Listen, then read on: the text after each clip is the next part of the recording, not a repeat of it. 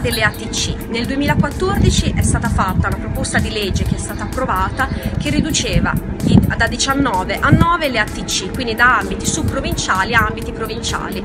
Come avevamo già noi detto all'inizio della nostra legislatura, questa eh, riforma era anticostituzionale, semplicemente perché viola la legge nazionale. Hanno proposto in fretta e furia di cercare di rimediare riportando tutto a prima e noi abbiamo chiesto il passaggio a commissione e abbiamo scoperto che in realtà vogliono prorogare questo stato di illegittimità fino a dicembre. Noi contestiamo tutto questo semplicemente perché è il metodo che è sbagliato, passerebbe un precedente terribile e in ogni caso tutto questo andrebbe a detrimento anche di tutta quella che è l'attività delle ATC e noi abbiamo denunciato anche questo in commissione.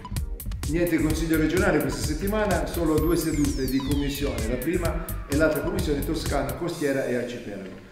In uh, discussione alla prima commissione abbiamo avuto la proposta di legge della maggioranza, il numero 94, che è alquanto, come dire, eh, buffa. La gestione degli impianti termici rimane nel limbo, nel senso che viene richiesta una proroga ulteriore a quella che era già una proroga e pertanto non sappiamo chi andrà a gestire questa parte della, diciamo, della problematica. In eh, Toscana Costiera Arcipelago, eh, in una seduta qui in regione, abbiamo ricevuto la visita del professor Marco Luise, professore dell'Università di Pisa nel settore delle telecomunicazioni e anche presidente di Toscana Spazio.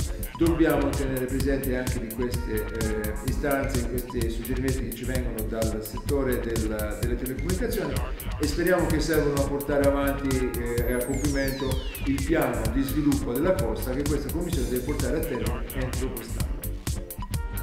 Questa settimana abbiamo trattato il tema qualità, della qualità delle acque balneari, in particolare il problema della qualità delle acque balneari nella zona Apuo-Versigliese. Come sapete è stato rinnovato il depuratore gestito da Gaia SPA, ma a quanto pare questa depurazione non riesce a ottenere i risultati previsti. Abbiamo un problema di intreccio tra acque reflue, acque nere e acque bianche. Abbiamo avuto problemi di sversamenti in eh, situazioni di eh, pioggia eccessiva. Con questo atto noi chiediamo che la Regione eserciti poteri sostitutivi laddove i comuni non sono in grado di garantire la salute dei cittadini ma soprattutto la qualità delle acque balneari che è un tema strettamente legato a quello del turismo e dell'offerta turistica.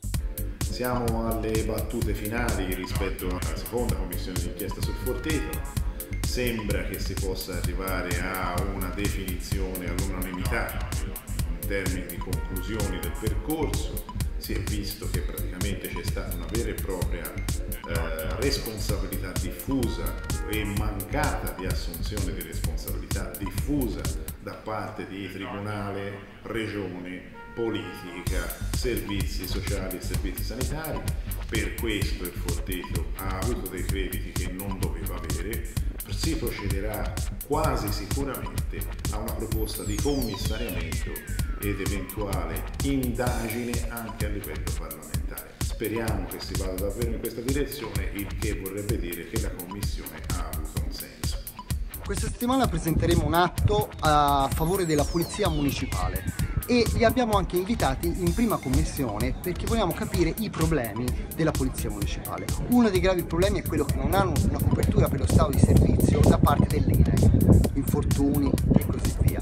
Inoltre c'è un'altra cosa grave, la Polizia Municipale viene impiegata eh, in situazioni dove invece dovrebbero occuparsi la Polizia di Stato perché ha prima di tutto l'accesso alla banca dati e ha tutele per certi tipi di servizio, per l'uso dell'arma e così via. La Polizia Municipale non può usare l'arma solo per legittima difesa, quando deve accedere alla, accedere alla banca dati non può accedere perché deve comunque interfacciarsi con un carabiniere o con uno della Polizia di Stato. Loro quindi sono sfruttati e usati in situazioni dove non dovrebbero essere usati. Quindi la Polizia Municipale chiede chiarezza e noi vogliamo che che la Regione accolga le istanze di tutti i cittadini, tutti i dipendenti, tutti i lavoratori della Polizia Municipale che sono tanti in Toscana e hanno bisogno di supporto. Che cosa stiamo facendo oggi? Noi non vi stiamo dicendo che abbiamo risolto i problemi della Toscana con 120.000 euro di stipendi restituiti in meno di un anno dai nostri consiglieri regionali, 100 defibrillatori acquistati per strutture e impianti che sono sportivi, che sono di ehm, eh, recupero sociale, che sono di incontro sociale. Non vi stiamo dicendo che abbiamo risolto i problemi di questa regione, noi vi stiamo raccontando la nostra idea di paese con una testimonianza ben precisa. Di certo in Europa io non conosco forze politiche che tagliano i propri stipendi e con quegli stipendi fanno partire nuove imprese. A proposito siamo arrivati a circa 2000 imprese, oltre 2000 imprese in Italia con i soldi del microcredito degli stipendi dei parlamentari. Nessuno ci credeva, oggi è una realtà. Ieri mattina ho visitato un negozio in Puglia, ne ho incontrato un altro a Brindisi, ci sono giovani e meno giovani che stanno aprendo un'attività di lavoro con i soldi dei nostri stipendi.